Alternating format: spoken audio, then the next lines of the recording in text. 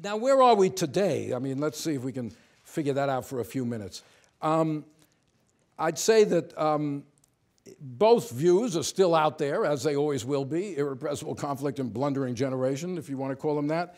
Um, historians lately have been emphasizing more the long history of the slavery. When, did this, when, when do you start thinking about the causes of the Civil War? Um, we have a tendency to push things backward. The word long, the adjective long, has become de rigueur now in studying almost anything. There's the long civil rights movement, there's the long Reconstruction we will see. Historians don't know how to count, is the problem. There's the long 19th century. Historians now think the 19th century went from the French Revolution to World War I, like 125 years.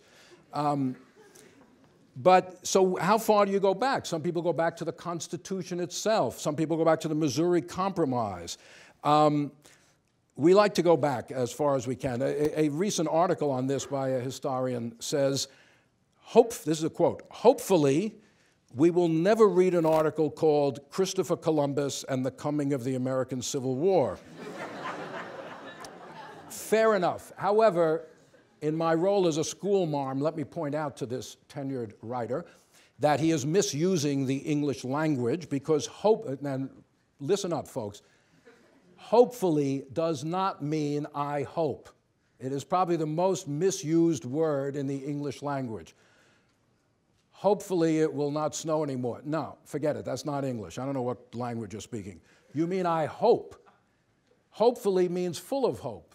Federer entered his match with Nadal, hopefully. He hoped he would win. That's different. If I say, hopefully Federer will win, that's wrong. I mean to say, I hope. So watch out on your papers for that. That's the one of, I'll give you the other one while we're at it. The other giant mistake.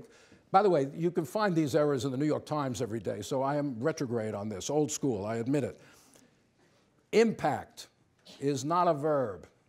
No, you can't say it impacted. This impacted. No, it had an impact on or affected. Impact is a noun. I know this is a lost cause, just like the old Confederacy, but I am fighting that battle.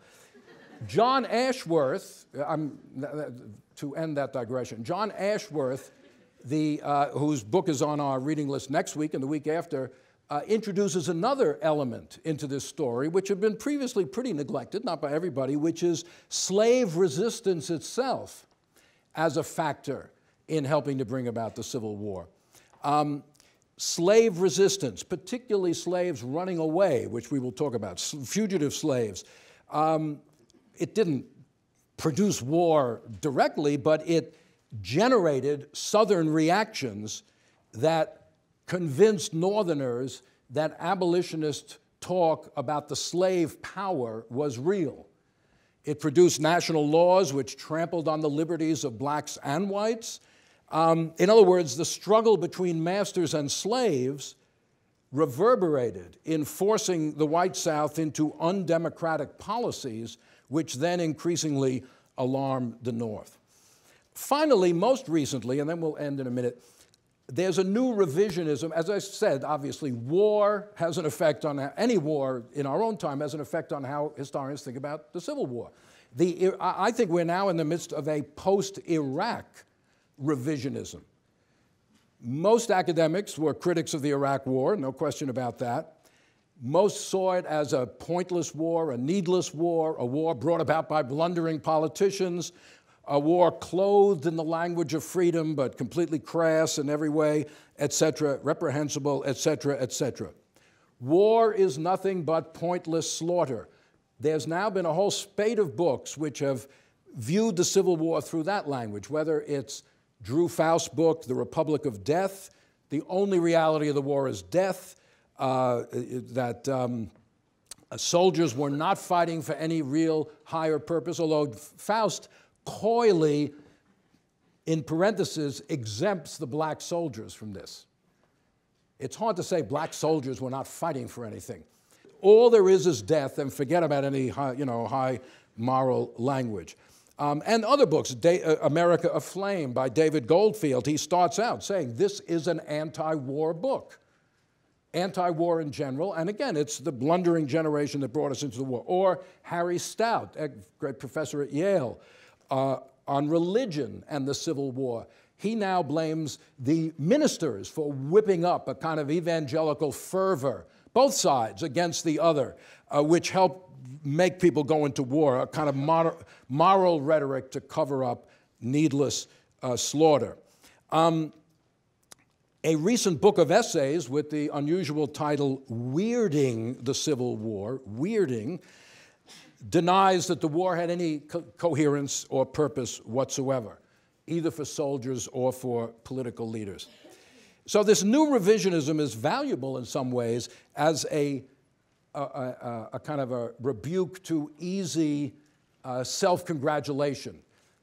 Given that no one is going to defend slavery nowadays, uh, it's easy enough for the northern writers or those who sympathize with unions to say, oh, look, uh, the good north and the evil south. It's easy enough to say that these books complicate that picture uh, considerably.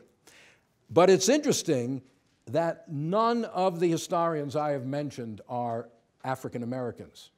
Black historians have not bought into this pointless war argument, perhaps for reasons that are pretty easy to uh, understand. And none of these historians explains or puts forward a plausible scenario for how slavery might have ended in the absence of war.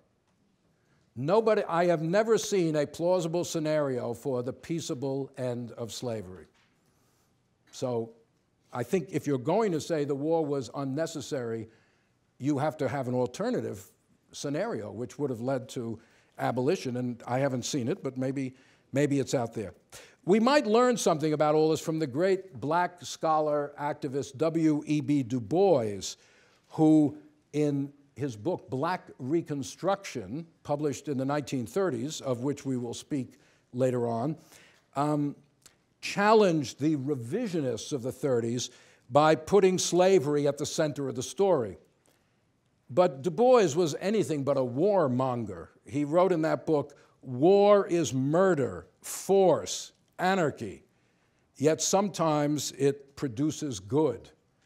And somehow we have to find a historical stance which can take into account both of those uh, things that war is murder and yet it can produce good. And the end of slavery was certainly a monumental result for not only black people but the entire nation.